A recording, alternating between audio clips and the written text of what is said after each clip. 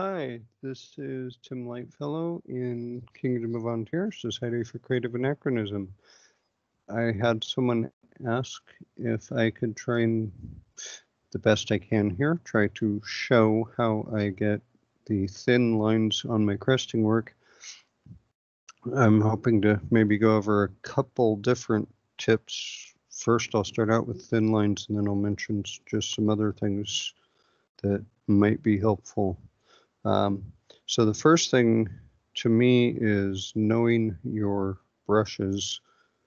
I, for the longest time, thought that for a thin line brush, I needed something with really very few bristles.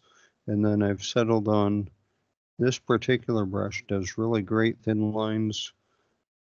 The problem with it right now is, which I don't think is going to show on camera, um, it's already starting to show the usage I've given it.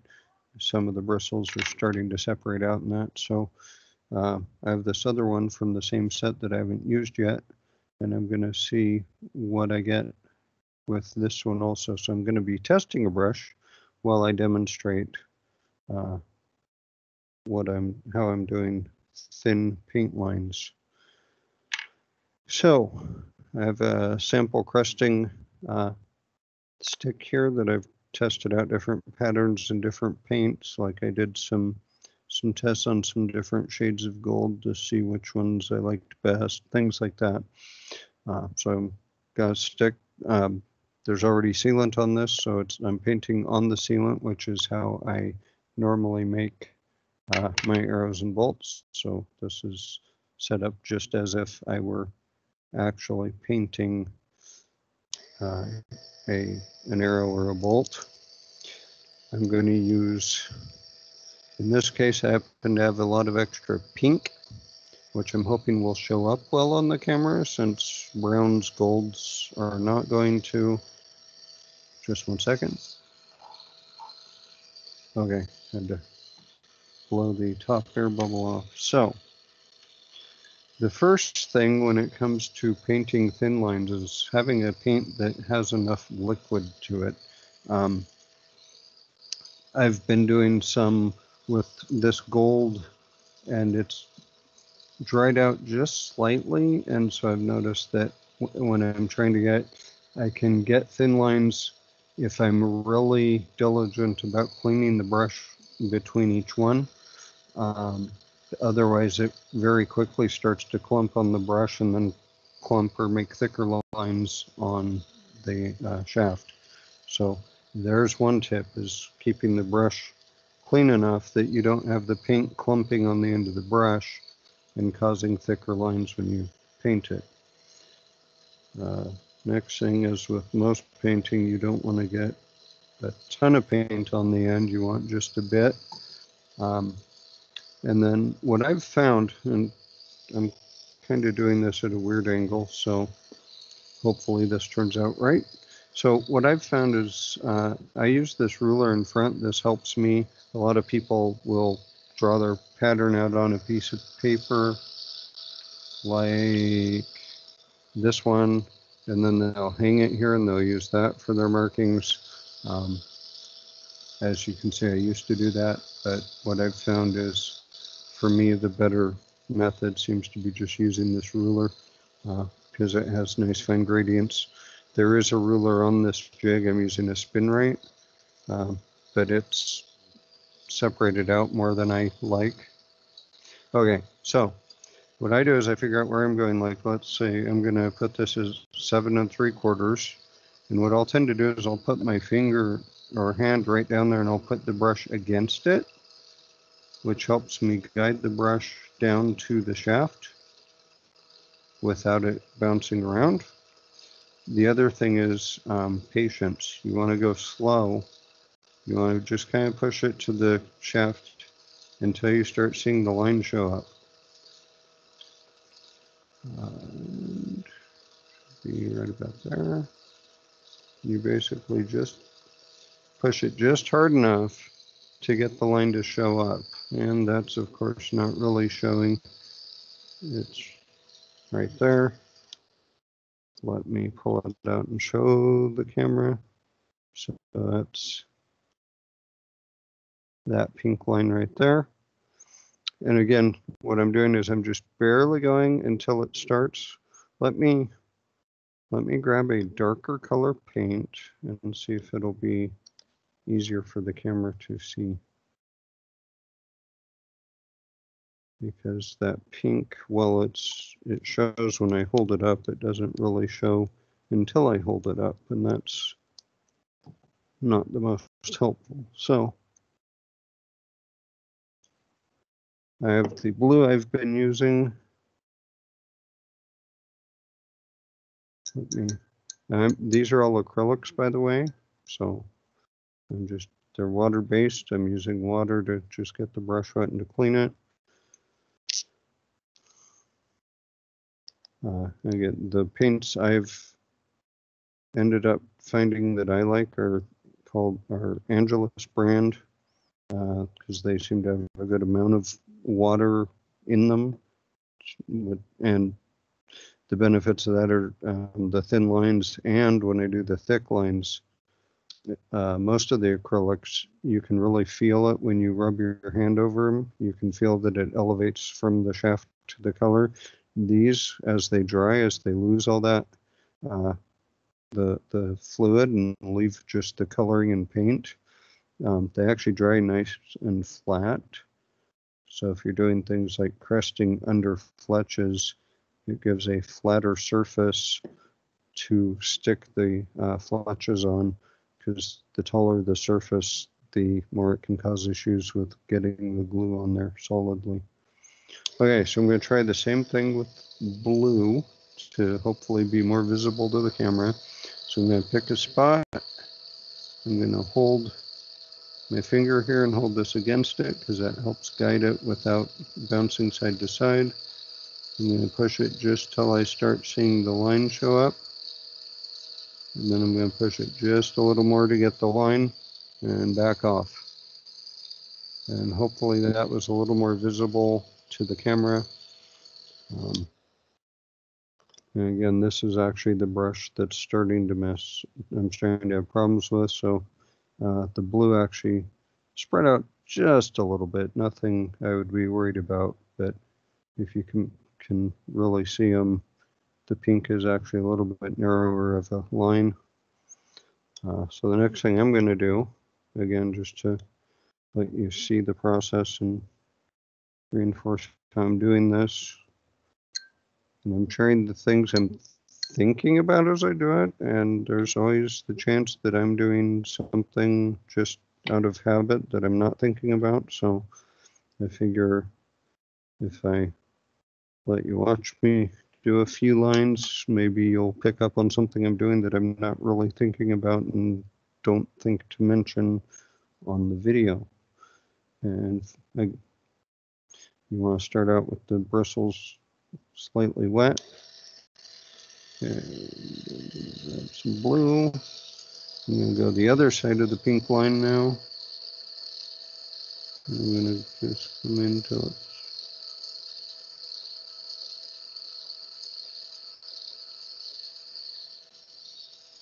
Okay. And that one actually gave me a thinner blue line possibly even thinner than the pink.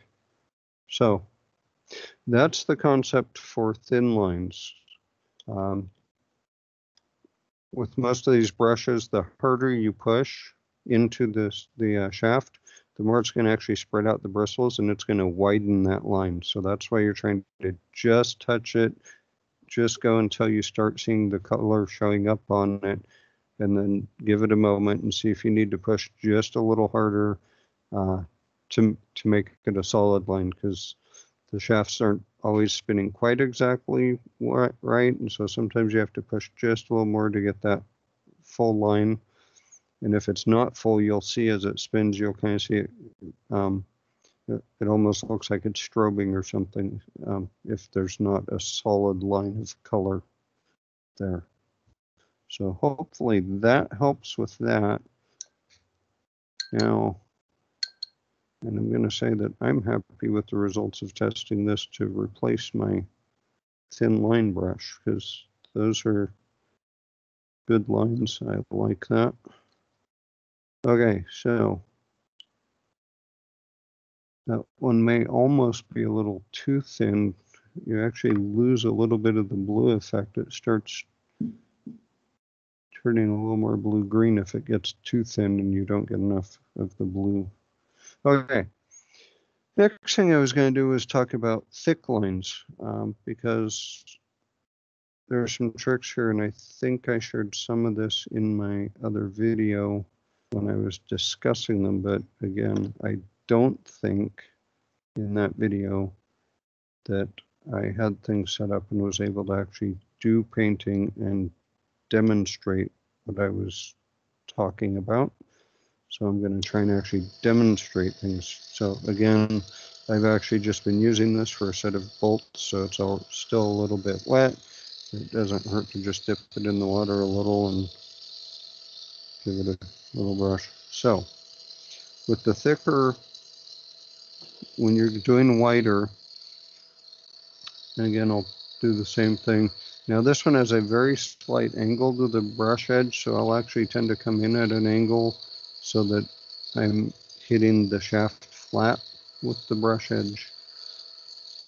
But what I, I try doing, I try and hit it slowly, and what you'll probably see, let's see if it works, is it'll first make contact in one or two spots, and then it'll slowly spread out as I push the brush in. And again, I'm just barely pushing the brush. That doesn't take much at all. And then, then when you're pulling the brush away, you also don't want to just go, okay, I'm done, and, and yank the brush back. You want to pull it back slowly because it'll actually still pull some of the paint back off. So if you accidentally pressed a spot too hard and got an extra thin layer of paint, if you pull back kind of slowly, it can actually help pull some of the paint off of the brush and make sure that it's filled in. Um, Another effect of pushing too hard, again, I'm going to paint right next to it, so I'm hoping this will show, is let's say I just cram this into the, the shaft. What ends up happening, it's hard to do this because I'm so used to not doing it. So what you see is, first of all, the paint spread out more, but the more important thing to note is it's really thin in the middle and there are these big bulges of paint on both ends, which the camera of course doesn't show very well. But so you end up with these lumps of paint on the ends and you end up with thin paint in the middle. So you're trying to avoid that. And by doing it the, the same way, just going slowly, letting the paint start getting picked up by the shaft and pushed just enough to get the coat you want uh, can uh, fix that or avoid that. Um, now, since conveniently I have two wet spots of paint next to each other, if I wanted to fill that in, I'll grab a little more paint and I'll hit the center and fill it in. And then I'm actually looking, it's going to depend on, you know, how good your eyes are and how obvious it is in the paint. But sometimes what you'll see when you look at the paint is you'll see thicker and thinner spots in the paint. So what I can sometimes do, and I'm working at an angle I'm not used to, but I'll try this. What I can sometimes do is just gently go in and hit it with the brush. I'm not really trying to add paint, I'm actually trying to either take paint away or at least smooth out where the paint is. And that can let you get a more even coat because if you're going to put lines on top, the more even and, and uh, flat the surface when it's dry, the easier it is to put lines over the top. If you have bulges and bumps, then it's going to make your solid, your thin lines look bad because it's going to push the brush around or get big clumps in areas with no paint. So those are some of the tips I have. One last thing I will point out as a uh, possible tip is that paint at the ends. So when you do a large section like that, sometimes, especially if there's any wobble at all in the shaft as it spins, you can end up with the very end of the paint having just a little wobble in it. And, you know, maybe you're okay with that, or if you're like me, you're, it may be a frustration and you may sit here staring at it going, but no, that needs to be better. So one of the benefits to doing the thin lines and the, the um, essentially finishing lines, as it were, is not only does it give it that detail, right, like the gold on the black and gold around the black bars, not only does it help give it that detail and that kind of more complete, more, yeah, more complete look to me. It, it looks more done if I have that. Um, but the other part of that is it can help you straighten out those slight wobbles on the ends of the color areas. Um, so I can't, I don't see any here that I can really demonstrate it on. Um, but basically, so if this had a wobble at the end and this were dry, I wouldn't want to paint wet paint over wet paint. But if this were dry and there's a wobble at the end, let's say I go in and I do a thin black line on each edge, I can actually put the black line right where it's right up against it or just slightly over part of the edge of the blue. And so what it can do is it can end up covering up that wobble and giving you a nice straight black line where there was a wobbly blue line in this case, whatever color you happen to be working with. So I hope that information helps. Um, trying to think through fast before I close the video if there's any other tips I can suggest.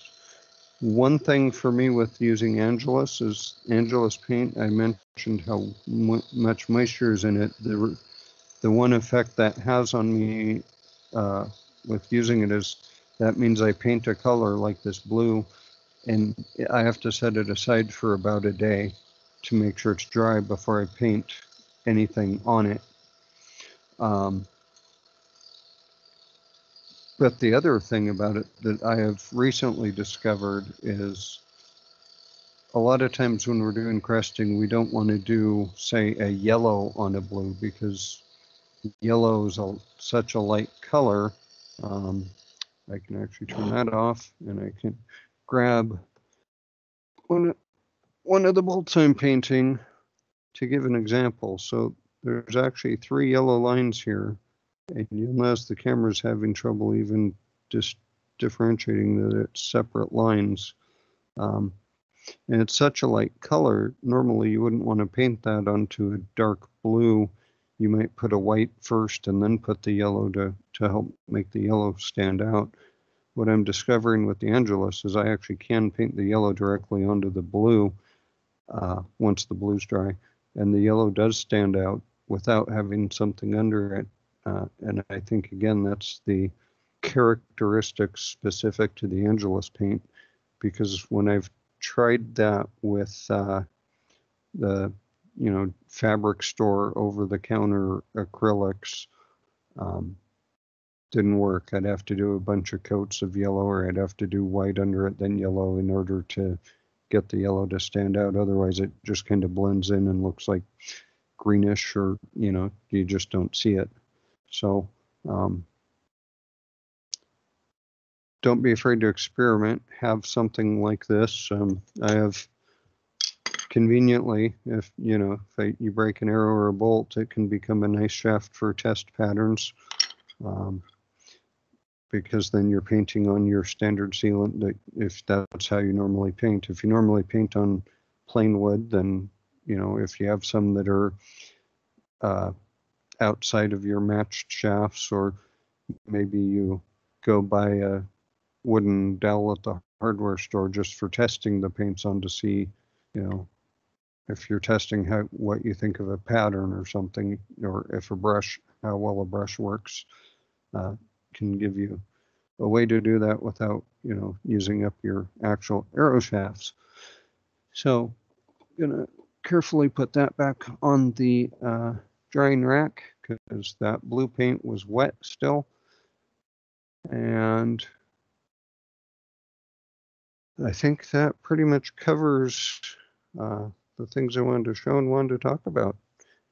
As always, if you have any questions, please feel free to ask. You can either reach out to me or comment on the video. If I post it right, it should allow comments. I am always eager to learn more, to learn other ways of doing things, and can't do that if people don't share. So, uh, feedback always welcome. Thank you for watching. I hope that this has been helpful and I wish everyone who's working on arrows luck on what they're doing and have fun kind of pushing your skills and, and working on improving them. I know I have. Thank you.